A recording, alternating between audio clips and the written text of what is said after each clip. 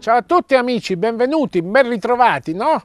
Io non so se a casa oggi mm, c'è, la luce del sole, ma no, io adesso vivo tra, in questa penombra, ecco, e la penombra è sempre una cosa non brutta, ma è una cosa bella perché c'è comunque ancora il sole, oppure c'è la luce della luna, come in questo caso, no? E, e, c'è sempre questa speranza ed è proprio in questo contesto che vorrei fare con voi, dopo un po' di puntate in cui abbiamo calpestato il terreno con i nostri passi di tenerezza, sulla sete di potere, sul potere. Ma lo faremo ancora. Ma di tanto in tanto, come nel nostro stile, anche per farvi fare, tra virgolette, i compiti a casa, e vivere una sorta di esercizi spirituali in cui ci fermiamo e riflettiamo, ecco, vorrei fare una sintesi di quello che si è detto finora, sempre relativamente al desiderio negativo, io dico, alla sete mortifera, io dico, del potere che abbiamo nel cuore, ogni uomo. Me, questo desiderio mortifero non ci è messo da Dio, perché Dio ci ha messo so, solo il bene, Dio ci dà la capacità di fare il bene. Il male, Dio ce lo fa fare perché rispetta la nostra libertà sbagliata, ma ce lo fa fare.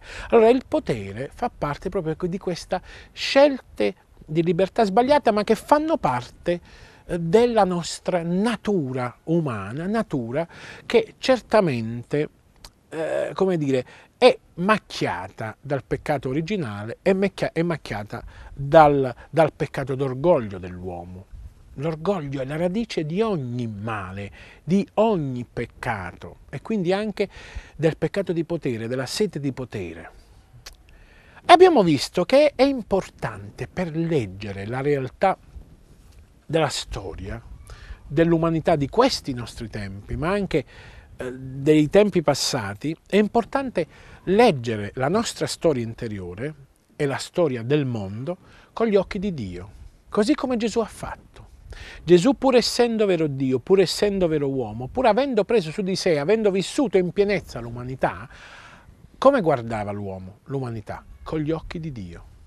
E vi ripeto quello che ci dice il Vangelo di Giovanni. Io vengo dall'alto, e ritorno al Padre mio e voglio che anche voi torniate all'alto, in alto, per guardare, per amare con gli occhi di Dio e il cuore di Dio. Il potere, visto con gli occhi di Dio, fa piangere Dio.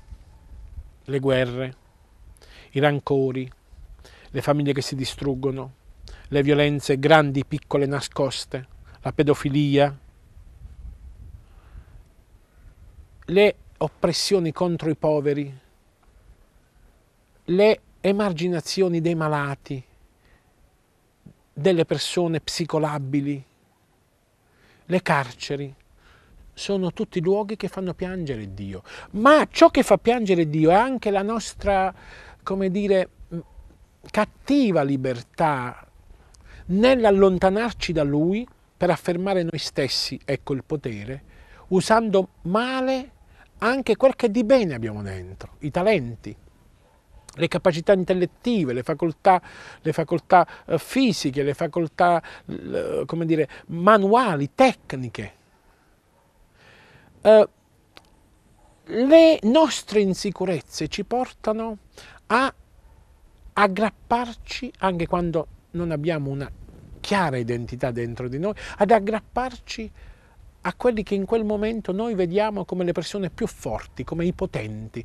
Quando sentiamo dire i potenti del mondo, dovremmo piangere perché finché ci saranno i potenti del mondo vuol dire che l'uomo, c'è una parte dell'umanità che soffre per l'oppressione di questo potere. L'oppressione di questo potere che poi vedremo viene, un, il potere viene sconfitto dalla debolezza, sì, dalla debolezza, dalla debolezza dell'amore, dalla debolezza, tra virgolette, di Dio. E quindi le insicurezze a cui veniamo spesso, sin da piccoli, educati a risolvere queste insicurezze schiacciando gli altri. Riflettiamo su queste cose, riflettiamo su questi brevi eh, diciamo, stimoli che abbiamo ricevuto in questi giorni e poi iscrivetemi, fatemi sapere. No, ormai sembra in sovraimpressione, sapete la email donfrancesco chiocciolateleradio.padrepio.it e scrivetemi perché l'email per me è molto più facile, non sempre riesco a rispondere al telefono e vi chiedo scusa, ma se è proprio urgente, come sapete, mandatemi un sms. Chi, eh, prima di mandarmi l'sms è bene però scrivermi per email e poi prendere tutti gli accordi. Grazie ancora a voi, grazie a tutti e mi raccomando, sempre insieme, camminando con passi di tenerezza. Ciao a tutti e sia lodato Gesù e Maria.